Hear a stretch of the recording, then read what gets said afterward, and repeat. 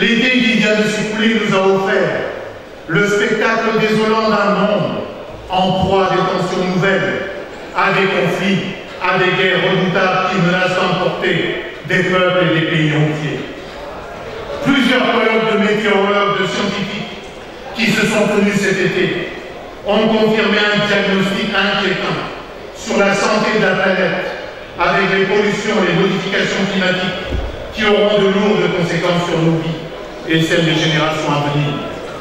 Une nouvelle fois, nous avons été meurtris par le martyr du peuple palestinien qui, une fois de plus, a dû compter ses morts par centaines à Gaza pour avoir fait face aux obus et à la brutalité de l'armée israélienne de ce pays dont on nous dit qu'il est la plus grande démocratie du Proche-Orient.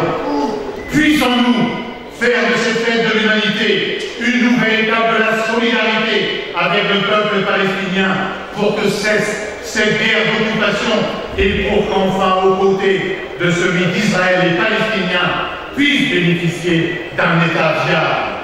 Il n'y a pas, il n'y a pas, contrairement à tout ce dit, de symétrie. Il y a là un occupant et un occupé, un colonisateur et un colonisé, un dominateur et un dominé. Le le c'est le peuple palestinien.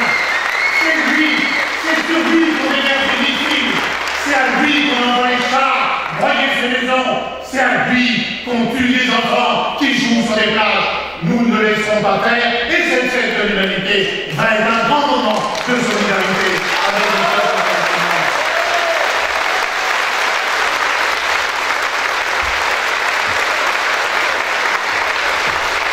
Nous allons accueillir Sadoua Barbouti, la femme de Marwan, emprisonnée, toujours emprisonnée, dont on nous dit, j'ai encore lu hier ça, pas, que Marwan était un problème. Mais Marwan n'est pas un problème ni pour Israël ni pour la Palestine.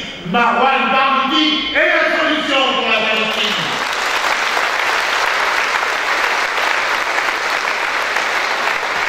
Outre les conditions dont je viens de parler, du hors-série que nous éditons ce soir, nous organiserons samedi sur la grande scène à 18h20 un grand concert de soutien avec Kelly James, Medine, Ashka et Gazatine. À cette occasion, un représentant du gouvernement palestinien parlera aux côtés de Fadoua Barbouti. Pierre Tirocin, tout droit de Gaza, qui participera à plusieurs débats sur la fête et qui témoignera de ce qu'il a vu.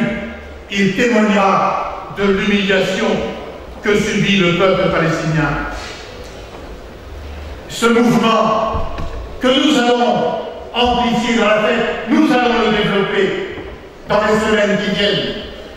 Il faut maintenant porter auprès de l'Union européenne une voix forte, un rassemblement fort pour aider ce que réclame à l'Union européenne le parti de la gauche européenne que préside Pierre Laurent et ici des représentants de son secrétariat qui vont également se montrer à vous tous car ce n'est pas tous les jours que nous recevons la direction du parti de la gauche européenne, ils ont des visages,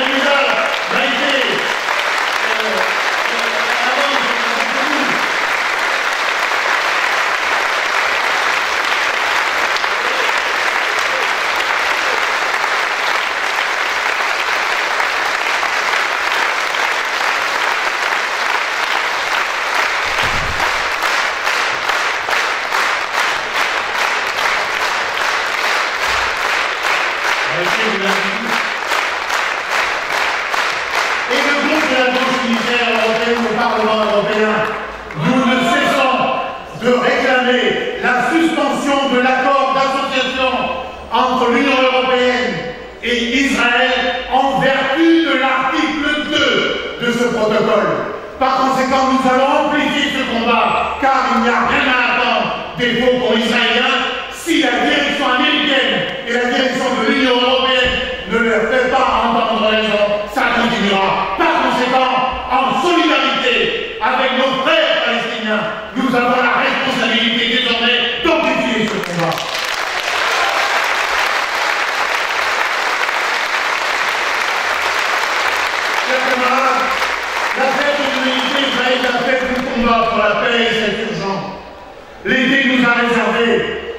Spectacle terrifiant de la barbarie en Irak, en Syrie, en Libye, ou sur le chaos semé par les impérialistes, a poussé l'herbe mauvaise du fondamentalisme le plus rétrograde.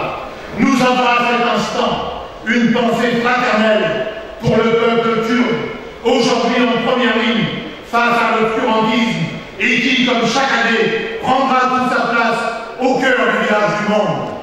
Et qu'on ne vienne pas, qu'on ne vienne pas, comme cela s'est fait déjà à la fête de l'humanité, venir cueillir ici les militants kurdes parce qu'ils vendent leur journal ou distribuent des tracts, parce que ceux qui sont là, les armes à la main, le fusil face aux fondamentalistes et aux djihadistes aujourd'hui, c'est nos camarades du PKK.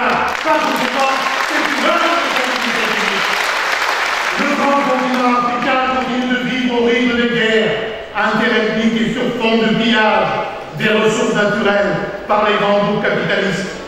Nous allons ici manifester notre solidarité avec les forces de progrès de Tunis, Saint-Bossoul, du Caire et Damas, qui ne cèdent pas à la fatalité de la guerre, ni à celle du terrorisme.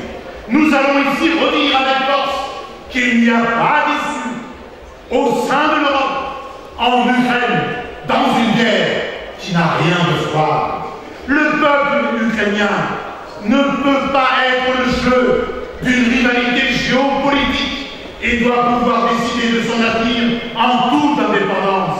Ces minorités doivent pouvoir y vivre en toute sécurité et l'extrême droite néo-nazie doit être écartée des sphères du pouvoir. Nous refusons et nous redisons OTAN, go home. Et au lieu de jeter des missiles, au lieu de jeter des missiles sur les gens, il devrait engager au plus vite avec la Russie des négociations de paix. Non, et les postures n'y changeront rien. Il n'y a pas et il n'y aura pas d'issue militaire à ce conflit.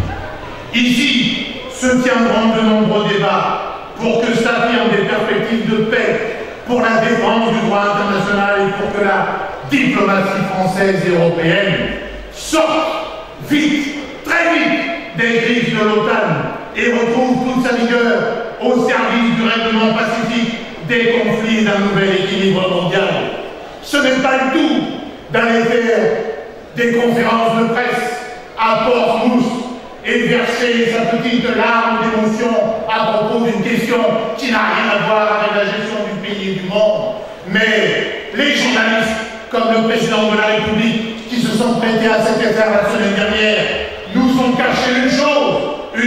la semaine dernière, nous ont caché